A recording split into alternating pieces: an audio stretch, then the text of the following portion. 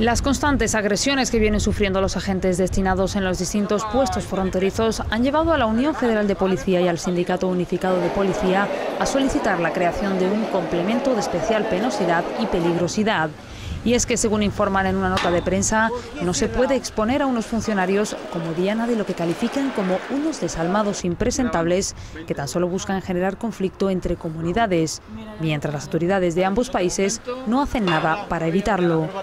Por ello, instan a todas las fuerzas políticas a solidarizarse con su petición y a trasladar esta problemática a organismos competentes. Además, consideran preocupante que los responsables políticos de Melilla insistan en defender la colaboración de Marruecos mientras se produce un trato injusto hacia estos funcionarios cuyo único delito, dicen, es servir a una sociedad por mandato constitucional.